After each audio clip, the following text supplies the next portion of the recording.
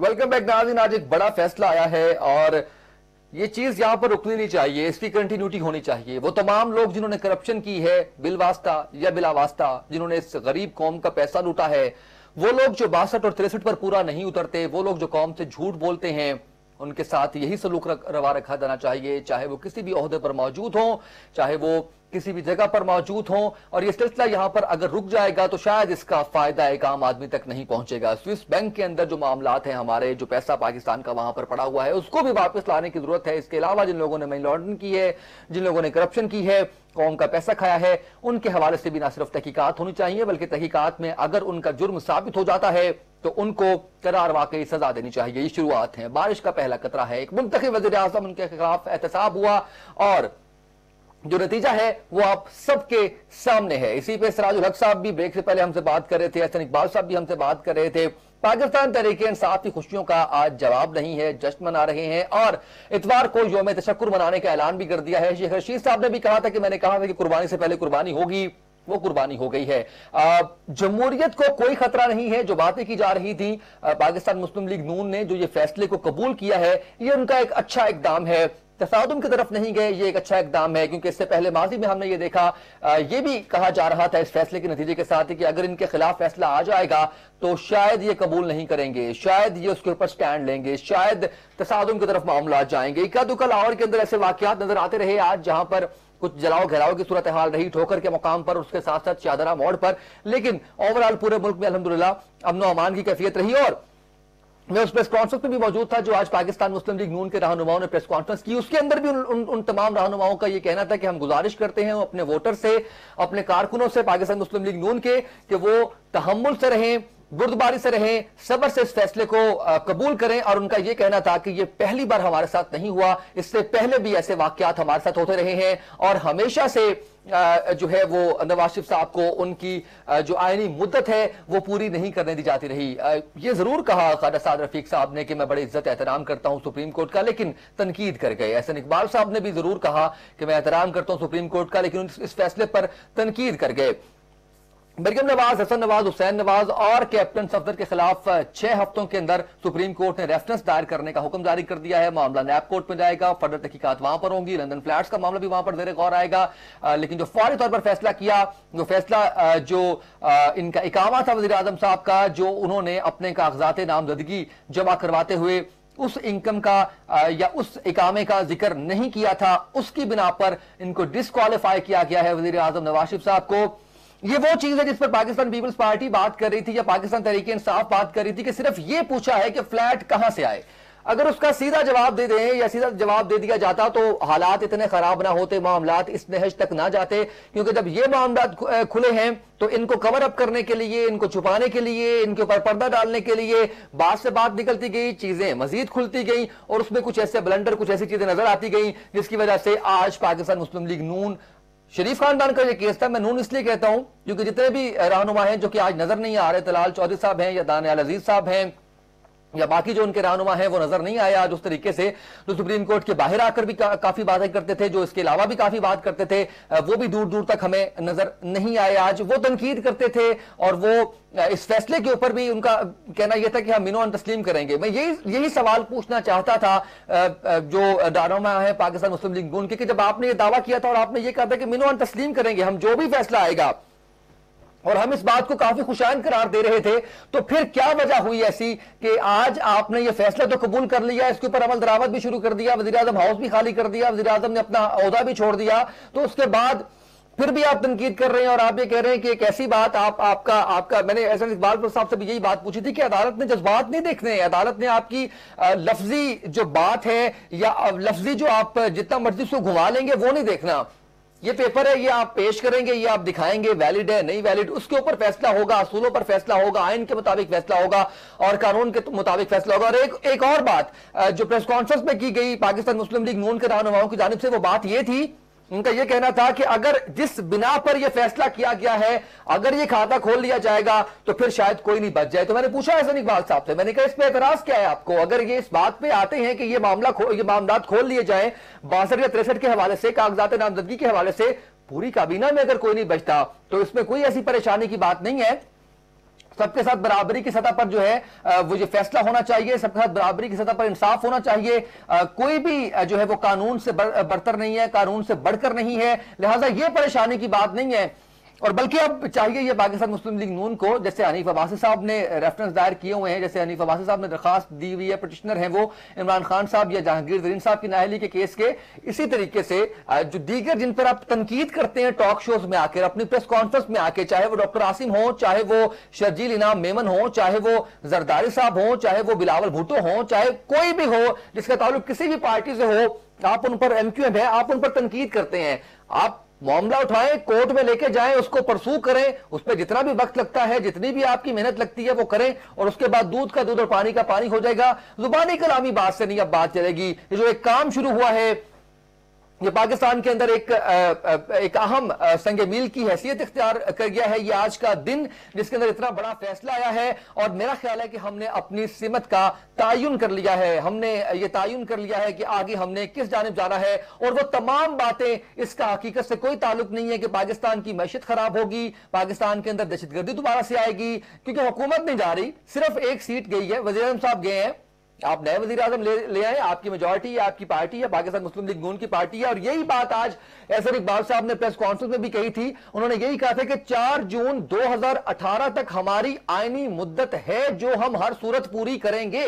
اور یہ اگر انہوں نے فیصلہ کیا ہے تو یہ نہایت ہی اچھا فیصلہ ہے۔ پانچ سال حکومت کو پورا کرنا چاہیے اور اس میں جو ہے وہ آپ جو بھی آپ نے اپنے پلانز بنائے ہوئے ہیں سی پیک کے حوالے سے لوڈ شیڈنگ ختم کرنے کے حوالے سے دہشت گردی ختم کرنے کے حوالے سے، تو پانچ سال تھوڑا وقت نہیں ہوتا، کافی وقت ہوتا ہے، یہ بہت ہی خوش آئند فیصلہ ہے۔ آپ کی، ہم، کسی نے آپ کی جمہوریت کو ڈیریل کرنے کی کوشش نہیں کی، کسی نے جمہوریت کے اوپر وار کرنے کی کوشش نہیں کی، جمہوریت کی کنٹینیوٹی ہے۔ صرف ایک سیٹ آپ کی گئی ہے۔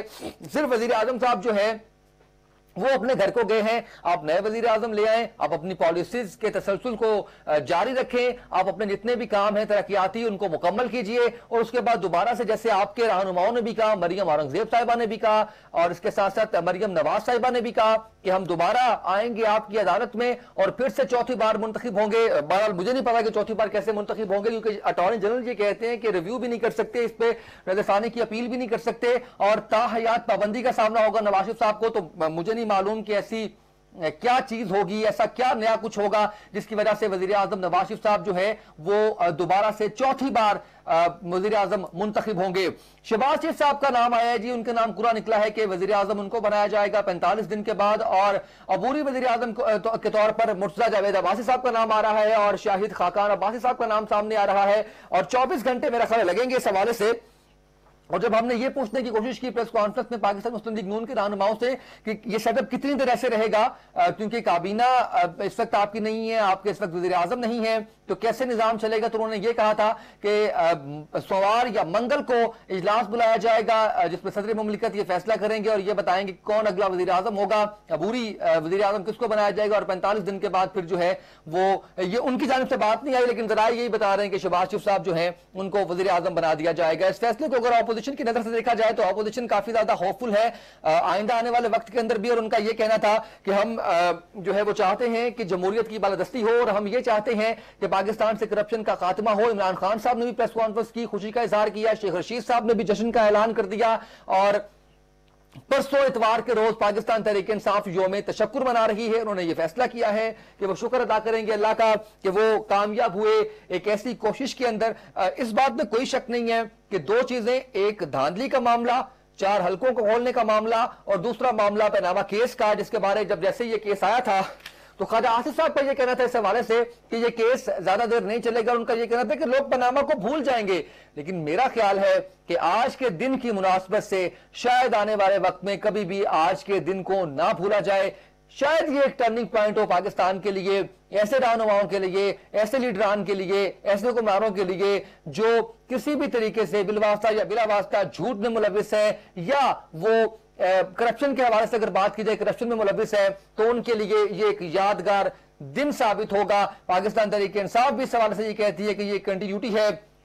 دیکھنا یہ ہے کہ جو دیگر پارٹیز ہیں، ان کے اندر جو ایسے لوگ موجود ہیں جو جو کرپشن کے اندر ملوث تھے یا جھوٹ کے اندر ملوث تھے، کیونکہ جب آپ باسٹھ تریسٹھ کا ذکر کرتے ہیں تو اس میں گنتی کے چند نام آتے ہیں۔ سراج الحق صاحب کا نام آتا ہے، دو ایک اور لوگوں کا نام آتا ہے۔ ادروائز تو یہ کہا جاتا ہے کہ دیکھیں آپ اپنے حلقے کے اندر پانچ سال جو وعدے کرتے ہیں، جو نعرے لگاتے ہیں، آپ شاید اس کے اوپر بھی پورا نہ اتریں، آپ شاید ان کو بھی جو ہے وہ وہ نہ اس کے اوپر جو ہے وہ پورا اتر سکیں اور وہ جھوٹ جو ہے وہ آپ کا سامنے آئے۔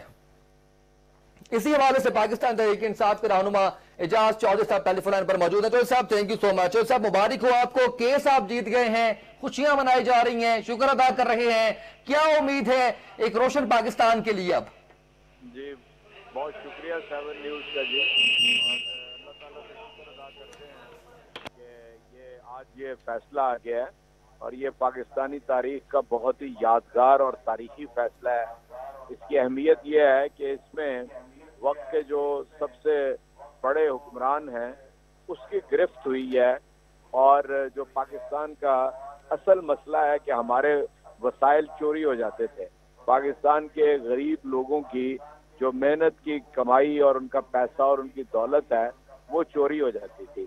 اس کے اوپر گرفت آئی ہے اور حکمران جو تھے، وہ اپنے ذاتی مفادات کو ترجیح اول میں رکھتے تھے اور وہ باہر اپنے کاروبار بھی جما کے رکھتے تھے اور اپنے ملک کے اندر وہ وزارت عظما اور وزارتیں بھی حاصل کرتے تھے۔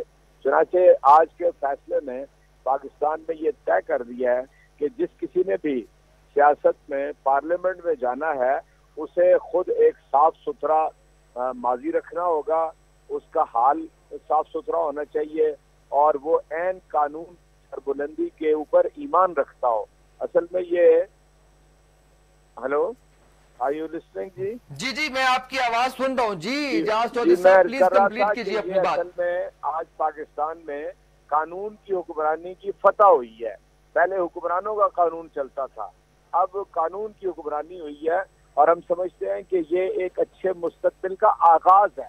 اس کے اوپر بہت زیادہ کام کرنے والا ابھی باقی ہے اور پاکستانی قوم کو مبارکباد دیتے ہیں جو پوری طرح اس کاز کے ساتھ، اس مقصد کے ساتھ کھڑے رہے اور جب بھی تحریک انصاف نے انہیں پکارا، انہوں نے پوری دنجمعی کے ساتھ اس کا ساتھ دیا اور میں اس موقع کے اوپر، اس تاریخی موقع پہ یہ جو جے آئی ٹی کے ممبران تھے، ان کو بھی سلام پیش کرنا چاہتا ہوں اور عدلیہ جو آزاد عدلیہ ہے، ان کے ججز کو بھی سلام پیش کرنا چاہتا ہوں اور انشاءاللہ آپ یہ دیکھیں گے کہ ایک ایسا سلسلہ شروع ہوگا ان حکمرانوں کے اوپر نو ریفرنس تو سپریم کورٹ نے یعنی دائر کر دیے ہیں۔ لیکن میری دانش کے اندر جی۔ اس سے کہیں زیادہ میرا خیال ہے کہ پینتیس چھتیس ریفرنس دائر ہوں گے جتنے لوگ اس پاناما کے کیس کے اندر انوالو ہیں۔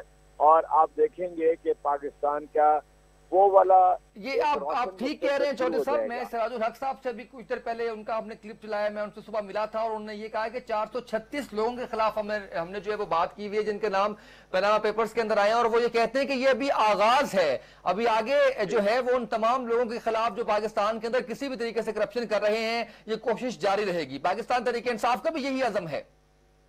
جی میں سمجھتا ہوں کہ ان کی بات اپنی جگہ درست ہے۔ یعنی ہم یہ کہتے تھے کہ کہیں سے آغاز ہونا چاہیے۔ پھر پیناما پیپرز کے اندر جس جس کا نام آیا ہے، چاہے وہ کسی سطح کا سیاستدان ہو یا جج ہو یا بیوروکریٹ ہو، ان سب کو گرفت میں آنا چاہیے۔ اور اس کے ساتھ ساتھ ہم یہ پیغام بھی دینا چاہتے ہیں پاکستان کے اندر کہ جو جینون بزنس مین ہے، جو جینون انڈسٹریلسٹ ہے، جو جینون ٹریڈر ہے، اس کے لیے پریشانی کا سبب نہیں ہوگا۔ ایسا نہیں ہے لوگ اس سے یہ کوئی دوسرا منفی مطلب نہ لے لیں۔ ہمارے پیش نظر پاکستان میں اس ایکٹیویٹی کو کرنے کا مقصد کسی کاروباری جینون کاروباری جینون انڈسٹریلسٹ جینون ٹریڈر کو خوف زدہ کرنا نہیں ہے۔ میں آج آپ سے ایک بات پر شیئر کرنا چاہتا ہوں سیون نیوز سے۔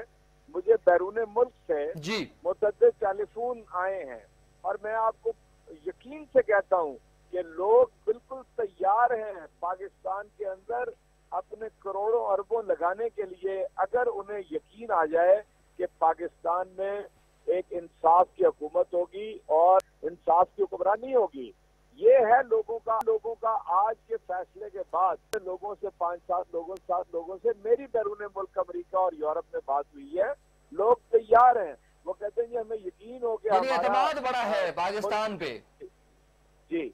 کا اعتماد بڑا ہے اور وہ یہ سمجھتے ہیں کہ اگر ایسا نظام بن گیا تو ہم پیسے کی کمی کبھی پاکستان کو نہیں آنے دیں گے۔ پہلے ہی ہم بیس بلین ڈالر جو ہے وہ سالانہ بھیجتے ہیں اور اگر ملا لیا جائے جو آؤٹ آف بینکنگ چینل آتا ہے تو تیس بلین ڈالر بن جاتے ہیں۔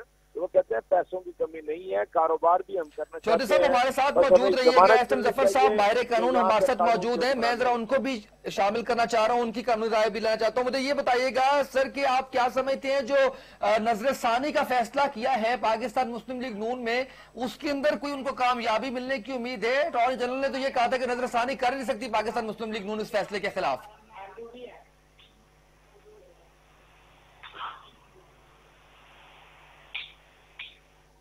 ظفر صاحب آپ مجھے سن پا رہے ہیں۔ ہلو۔ جی آپ تک میری آواز پہنچ پا رہی ہے۔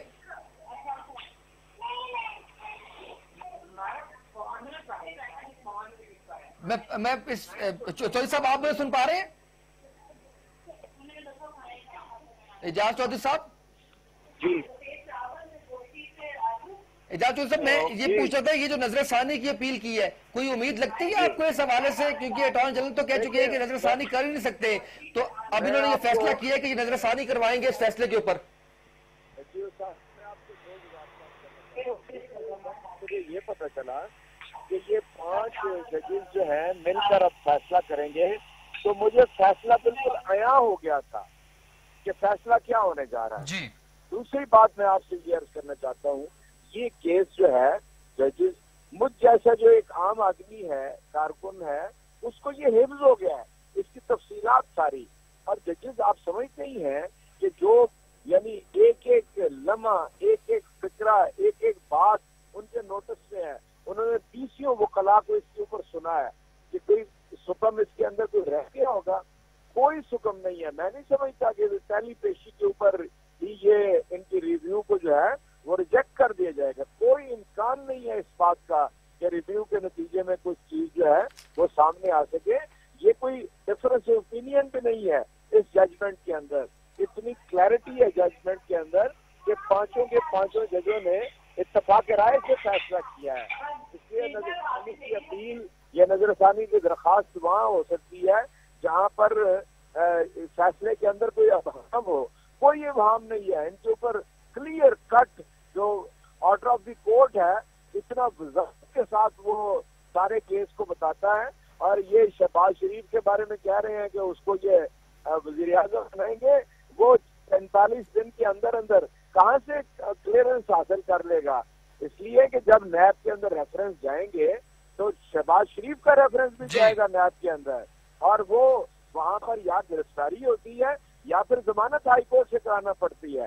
نیب کے کیس میں نیب کی عدالت آپ کو بیل نہیں دے سکتی وہ آپ کو ہائی کورٹ میں جانا پڑتا ہے۔ صاحب میرے ساتھ موجود رہیے گا۔ ایک سوال میں نے آپ سے بڑا اہم کرنا ہے لیکن میں ایس ایم ظفر صاحب کی طرف بڑھتا ہوں۔ ایس ایم ظفر صاحب آپ کو میری آواز صحیح طریقے سے آپ آ رہی ہے۔ ایم ظفر صاحب آپ سن پا رہے ہیں مجھے؟ ہیلو ان تک شاید میری آواز نہیں پہنچ رہی اجازت چودھری صاحب میں جو سوال آپ سے پوچھنا چاہ رہا تھا وہ سوال یہ ہے کہ آج شکوہ کیا ہے دوبارہ سے پریس کانفرنس میں پاکستان مسلم لیگ نون کے رہنماؤں نے انہوں نے یہ کہا ہے کہ یہ ایک انٹرنیشنل سازش تھی کیونکہ پیناما انٹرنیشنل جرنل میں آیا یہ الفاظ ہیں خادر سعد رفیق صاحب کے جو انہوں نے آج ساڑھے چار بجے پریس کانفرنس کی ہے اور کہتے ہیں کہ اس کا جو موہرا ہے وہ پاکستان میں موجود ہے جس کا نام ہے عمران خان اس کے اوپر میں آپ کی رائے لینا چاہوں گا دیکھیں میں آپ سے عرض کرتا ہوں سعد رفیق ڈینائل کے اندر ہے۔ ڈینائل کہتے ہیں جب آدمی وہ پنجابی میں کہتے ہیں نا کہاں چٹا ہے بس۔ انہوں نے ایک ہی بات کہنی ہے۔ جی۔ جو ڈینائل میں ہو آپ اسے سمجھا نہیں سکتے۔ جو لوگ جو آدمی جاگ رہا ہو اس کو جگانے کی کوشش کی جائے تو کہتے ہیں کہ بھئی وہ ہم سوئے ہوئے کو تو جگا سکتے ہیں لیکن جاگو ہوئے کو کون جگائے گا؟ یہ ڈینائل میں ہے۔ اور میں یہ کہتا ہوں سعد رفیق کو اور یہ سارے لوگوں کو کہ آپ آئیں اور ایک اپلیکیشن سپریم کورٹ کے چیف جسٹس کے سامنے رکھیں کہ جناب یہ بین الاقوامی کانسپریسی ہے اور اس میں فلاں فلاں فلاں ملک شامل ہیں، فلاں فلاں ایجنسیاں شامل ہیں۔ بھائی جب عدالت کا راستہ کھلا ہے ان کے لیے کہ وہ یہ سازش پروو کر دیں۔ آئیں وہ پارلیمنٹ کا اجلاس بلائیں۔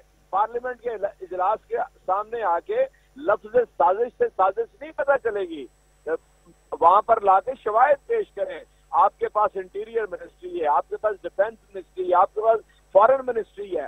کون سے ایسی بات ہے کہ جو آپ کے علم میں نہیں آ سکتی؟ ساری ایجنسیاں آپ کے لیے کام کر رہی ہیں۔ تو آئیے نا، بتائیں کیا کانسپریسی ہے۔ میں تو بہت زبردست اس بات کے اوپر احتجاج کرنا چاہتا ہوں۔ کل چودھری نثار نے جب پریس کانفرنس کی تو اس نے کہا کہ جناب میں اور نواز شریف جانتے ہیں پاکستان کے ان خطرات سے دو چار ہے اور دو اور آدمی ہیں۔ تو میں پوچھنا چاہتا ہوں کہ قوم کو اعتماد میں کیوں نہیں لیتے؟ تم کتنا بوجھ لے سکتے ہو؟ چار میں سے تو ایک گیا۔ باقی تین جو ہیں، وہ کیا اس ملک کی حفاظت کا انتظام کریں گے؟ اس لیے یہ ساری محمل اور بے معنی باتیں ہیں۔ جب تک کہ قوم کو اعتماد صاحب مجھے چند منٹ آپ کے اور چاہیے ہوں گے مجھے پھر سے آپ کو کاٹنا پڑ رہا ہے میں اس کے لیے پیش کی معذرت خواہ ہوں احسن ظفر صاحب نے پھر رابطہ کیا ہے احسن ظفر صاحب آپ تک میری آواز صحیح طور پر پہنچ رہی ہے۔ آپ کی آواز صاف آ رہی ہے فرمائیے میں سن رہا ہوں۔ جی جی مجھے یہ بتائیے گا میں آپ سے جاننا یہ چاہ رہا ہوں کہ یہ جو نظر ثانی کی اپیل کا فیصلہ کیا ہے پاکستان مسلم لیگ نون نے اس کے اوپر آپ کی کیا رائے ہے؟ کس تناظر میں دیکھتے ہیں آپ؟ مسلم لیگ نے کیا فیصلہ کیا ہے؟ یہ جو فیصلہ آج آیا ہے ان کے خلاف نااہلی کا اس کے اوپر نظر ثانی کا جو ہے وہ فیصلہ کیا گیا ہے؟ جی ہاں۔ میں پہلی بات تو یہ عرض کرنا چاہوں گا کہ اگر کوئی یہ کہتا ہے کہ اس فیصلے کی وجہ سے ریاست کو کوئی خطرے پیدا ہو گئے ہیں تو ریاست کو جو خطرے موجود ہیں اس سے زیادہ نہیں پیدا ہوں گے۔ اس فیصلے کی وجہ سے کوئی اضافہ نہیں ہوگا اور نہ جمہوریت کو کوئی نقصان پہنچ سکتا ہے۔ یہ ایک فرد کے متعلق ایک پرائم منسٹر کے متعلق فیصلہ ہے۔ اس کو اتنی تشویش کی نظر سے نہ دیکھا جائے۔ اور اس پر ایک اطمینان کے ساتھ جن جن کا فیصلہ ہوا ہے، وہ اس پر آرام سے سوچیں اور اپنا رد عمل سیاسی طور پر اس پر عمل کریں۔ بجائے اس کے کہ اس کے متعلق کوئی تنقیدی نظر نقطہ نظر رکھی جائے۔ اب جہاں تک فیصلے کا تعلق ہے، میں فیصلے کو دو حصوں میں تقسیم کرتا ہوں۔ ایک حصہ وہ ہے جس میں نیب کورٹ کو بھیجا جا رہا ہے کیس۔ میں اس سے شروعات سے اس بات کی بات کا تکرار کر رہا تھا کہ یہ مقدمہ بالآخر نیب کورٹ میں جانا چاہیے تاکہ وہاں ڈیو پروسیس اور انصاف کے پورے تقاضے پورے ہو سکے اور یہ اپنے دفاع میں بھی پیش ہوں اور اس کے بعد فیصلہ کیا جا سکے۔ وہ فیصلہ بالکل درست اور صحیح ہے۔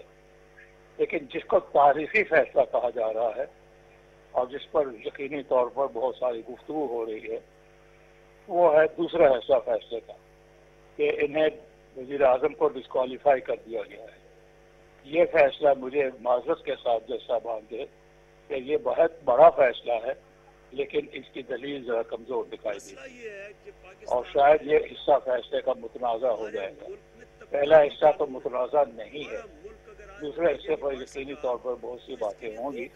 اور اس میں سے ایک یہ ہے جس کو ابھی میں کہہ سکتا ہوں بعد میں مزید تفصیلات پر نظر ڈالوں گا۔ کہ کسی اور قانون کو جس کے ماتحت اگر کوئی آپ نے اپنی تنخواہ نہ لی ہو تو وہ آپ کا ایسٹ گنا جائے گا۔ اس کو لا کر سکسٹی ٹو کے ساتھ جوڑ دینا ذرا زیادہ اسٹریچنگ کی علامت ہے۔ ایسے معلوم ہوتا ہے کہ بڑھوتری ہو گئی ہے۔ اس پر یقینی طور پر گفتگو ہو سکتی ہے اور امید کی جا سکتی ہے۔ مجھے مجھے امید ہے کہ ہمارے جورسٹ اس پر نظر رکھتے ہوئے گفتگو فرمائیں گے۔ یہ حصہ یقینی طور پر کمزور دکھائی دیتا ہے۔ لیکن بہرحال جب تک یہ موجود ہے، ہمارے وزیر اعظم ثابت جو تھے، وہ آج کے بعد سے، اس فیصلے کے بعد سے وزیر اعظم نہیں رہ گئے اور اب نیشنل اسمبلی کا کام ہے کہ وہ نئے نئے منسٹر صاحب کو، نئے پرائم منسٹر کو منتخب کر لے۔ میجورٹی جن کی ہوگی، جس کو ووٹ مل جائیں گے، وہ پرائم منسٹر ہو جائے گا اور وہ اپنی کابینہ بنا سکے گا۔ البتہ ایسے مظفر صاحب مجھے یہ بتائیے گا اگر پاکستان مسلم لیگ نون یا شریف خاندان یا نواز شریف صاحب اس پہ نظر ثانی میں جاتے ہیں تو ان کو کوئی فائدہ ملنے کے چانسز موجود ہیں؟ جیسے آپ نے یہ بتایا ہے کہ اس کے اندر کچھ ایسی کمزور چیزیں موجود ہیں جس کے اوپر بات کی جا سکتی ہے۔ میں نے صرف ایک چیز کو کہا کمزور باقی کسی چیز کو کمزور نہیں کہہ رہا۔ اور وہ ہے ڈسکوالیفیکیشن جی میں اسی چیز کے جی، اوپر بات کر رہا ہوں کہ اگر وہ ڈسکوالیفیکیشن پر نظر ثانی کا حق رکھتے ہیں نظر ثانی کے لیے جاتے ہیں تو کیا ان کو کوئی فائدہ ملنے کے چانسز موجود ہیں؟ یہ مجھ سے نہ پوچھے ان کے وکلا صاحبان سے دریافت کرے کہ وہ اس کو کتنا مضبوط سمجھ کر اس کو ریویو کرنا چاہتے بھی ہیں یا کہ نہیں چاہتے۔ آپ نے مجھ سے ایک رائے مانگی ہے میں اس رائے کو تو دے سکتا ہوں ان کے بحاف پر نہیں کہہ سکتا کچھ جی صحیح، بہت شکریہ آپ کے اسلم زفر صاحب یہ چیز سامنے آئی تھی۔ اجاز چوہی صاحب، آپ نے بات سنی ہے زفر صاحب کی، وہ یہ کہتے ہیں کہ ایک حصہ جو نیب کورٹ کو بھیجا جا رہا ہے اس کے اوپر تو وہ بالکل ٹھیک ہے، لیکن ڈسکوالیفیکیشن کے اوپر کچھ بات کی جا سکتی ہے۔ کیا کہیں گے آپ؟ اجاز چوہی صاحب، آپ تک میری آواز پہنچ پا رہی ہے؟ اجاز چوئی صاحب موجود تھے مرکز پاکستان تحریک انصاف سے اور ایس ایم ظفر صاحب بھی موجود تھے۔ ایس ایم زفر صاحب کا یہ کہنا تھا انہوں نے دو حصوں میں ڈیوائیڈ کیا۔ پہلی بات انہوں نے جو کی وہ یہ کی تھی کہ جمہوریت کو کوئی خطرہ نہیں ہے یا پاکستان جس وقت، جو اس وقت جن جن خطرات کے اندر موجود ہے، اگر اس کے اوپر بات کی جائے تو ان کے اوپر جو ہے وہ کوئی خطرہ موجود نہیں۔ ایس ایم ظفر صاحب، آپ مجھے سن پا رہے ہیں؟ ایسم ایم صاحب، آپ کا شکریہ۔ آپ نے وقت دیا کیپٹل فرنٹ کے لیے۔ ان کا یہ کہنا تھا کہ جمہوریت کو خطرہ نہیں ہے اور صرف ایک وزیر اعظم ہیں، وہ اپنے گھر گئے ہیں اور اس کے ساتھ ان کا یہ کہنا تھا، فیصلے کے حوالے سے جو انہوں نے بات کی ہے، وہ یہ کہتے ہیں کہ ایک تو حصہ اس کا ہے ڈسکوالیفیکیشن کا اور دوسرا جو معاملہ نیب کورٹ کو بھیجا گیا ہے، بالکل نیب کورٹ میں جانا چاہیے تھا ٹرائل ہونا چاہیے تھا اور جو پہلی بات ہے ڈسکوالیفیکیشن کے اوپر، اس کے اوپر وہ کچھ کہتے ہیں کہ مزید بات بھی کی جا سکتی ہے۔ آج کے پروگرام سے اتنا ہی، اجازت دیجیے اللہ حافظ۔